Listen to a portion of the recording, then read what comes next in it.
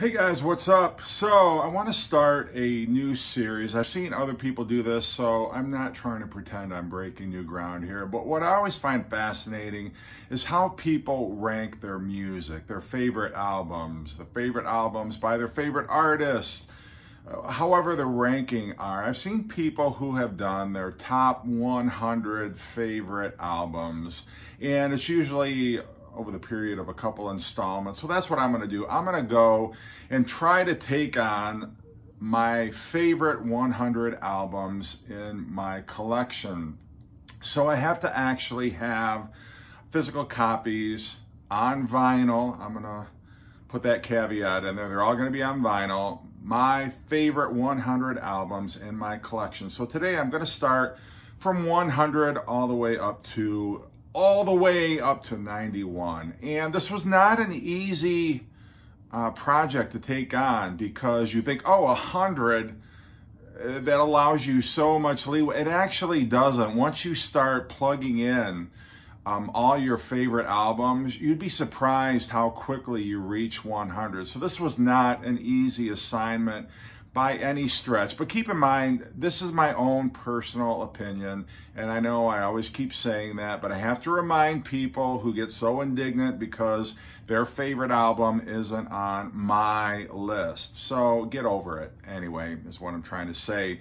If your favorite album's not somewhere on this list, doesn't mean I don't like it. It just means it's not one of my favorite 100. So without further ado, number 100 is going to be Elton John, Don't Shoot Me, I'm Only the Piano Player from, I believe it was 1973, early 1973. This was the very, well, not the very first, the first studio album that I ever owned by Elton John. Elton John's Greatest Hits was the first album by Elton John that I ever owned. But this one I love because not only does it have fantastic songs, it's got Daniel, you've got um, Elderberry Wine, Blues for Baby and Me, uh, Midnight Creeper, which is great. Um, Crocodile Rock is on here, High Flying Bird. I played this album to death when I was younger, and I still have nostalgia for it. I mean, I love the booklet that comes with it, the lyric booklet. There are very, very, very few albums in my collection where you get this kind of packaging for just a standard single record. This isn't a box set. This isn't a double album or a triple album. It's just a single record. And that's what I love about those early Elton John albums is he knew how to give you value for your money. There were extensive lyric booklets. There were posters. Um, he had, you know, interesting gatefolds as well. There was so much to look at. Um, and so this was the whole uh, package for me growing up. I like I said, I can't tell you. My dad had this album, played it around the house. When I got a copy for Christmas one year, it's all I listened to for about six months. So is it Elton John's? Is it a top five Elton John album in most people's opinion? Probably not, but for me, again, it's a nostalgia factor. I grew up listening to this record. I love just about every song on here, um, even kind of the silly ones like I'm Gonna Be a Teenage Idol, uh, Texan Love Song, yeah, Teacher I Need You, which is kind of hot for teacher, uh, about, you know, 10 years earlier, but very cool album.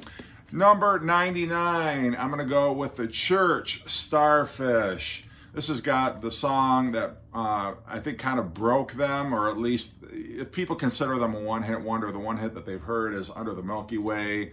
Uh, this was released, I believe, in 1988. They had a couple albums before this, but I love just the mood of this album. Um, it's very much like if you're an REM fan, um, or a fan of just kind of like alternative guitar rock from the 80s, uh, I think you would like this record a lot if you like The Cult.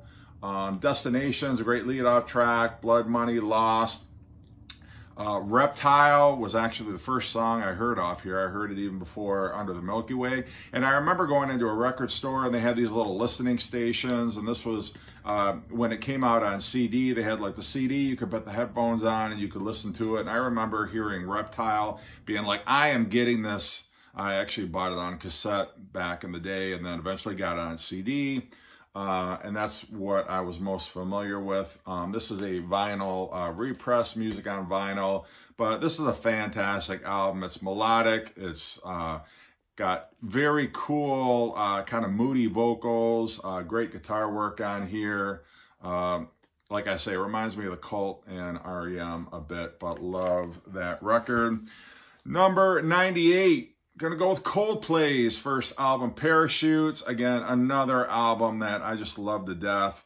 Yellow is actually my least favorite song on here. I don't know if it's just because it's been overplayed. I've never fallen in love with that song, but there's the other tracks on here are just amazing.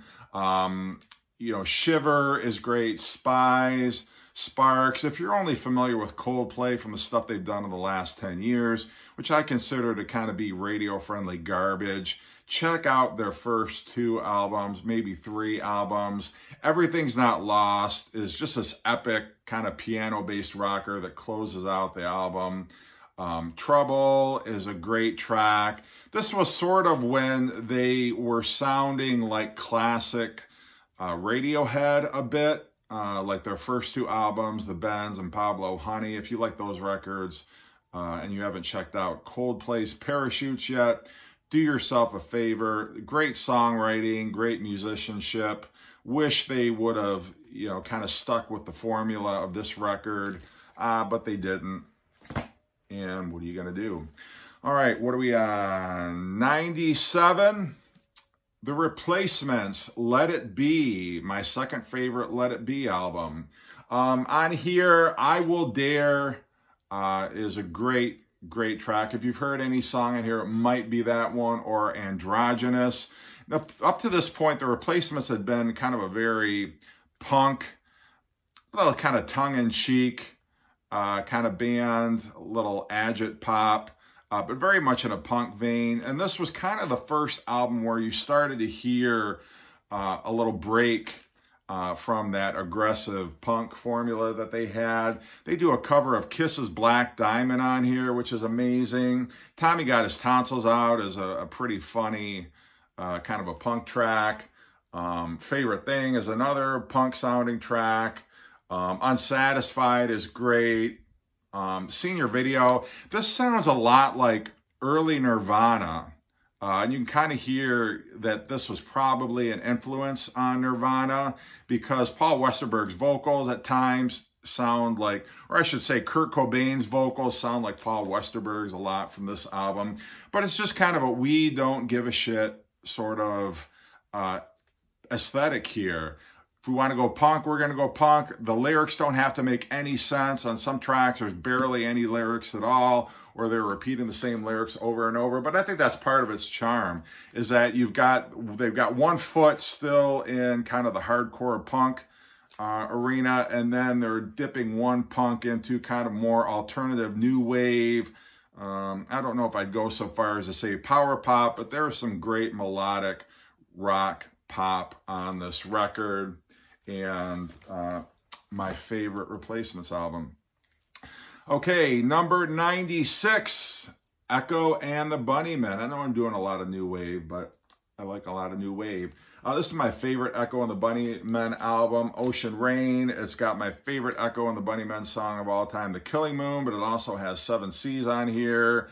Uh, very moody, uh, First side was silver, nocturnal me, and they incorporated strings, almost like Paul Buckmaster, very non-intrusive kind of a string, but it definitely augmented their sound really well. It added a new dimension, a new texture to kind of their post-punk, uh, new wave leanings that they had. But this is a great, great album.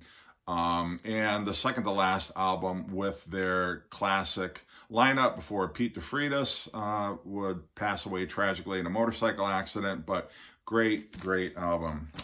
All right, going a little uh, kind of alternative country here. I'm not really much of a country guy, but I do make an exception for this next artist, Neko Case, and her album blacklisted. Now, Neko Case was in the New Pornographers uh, before she struck out on her solo career. I believe this is her second solo album. She's still got a country vibe here, but also the elements of the great songwriting um, that she would come to be known for. And her amazing vocal. She is one of my all-time favorite female vocalists. And she lets it rip on here, like Deep Red Bells is fantastic. And just melodic, melodic. That's what I love about it. I don't love too much like twangy country, but this...